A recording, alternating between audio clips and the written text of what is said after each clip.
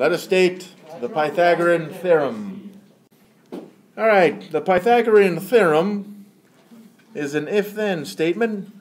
So we have if and then, meaning that it is conditional. If, for example, if we have,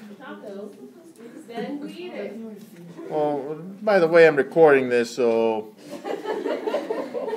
if we have a right triangle, then a squared plus b squared equals the c squared, where c is the hypotenuse.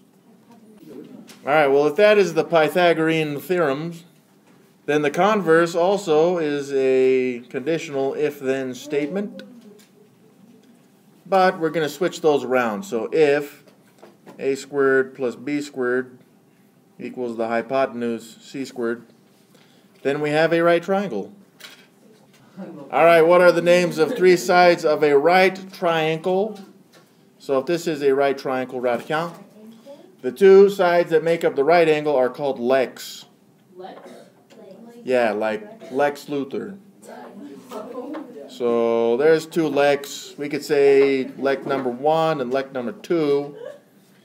And then the longest side, which does not make up the right angle, is the hypotenuse. I guess that makes sense, sure. So we could say that this is A and this is B, not that either of those really matter. And then the hypotenuse is a C.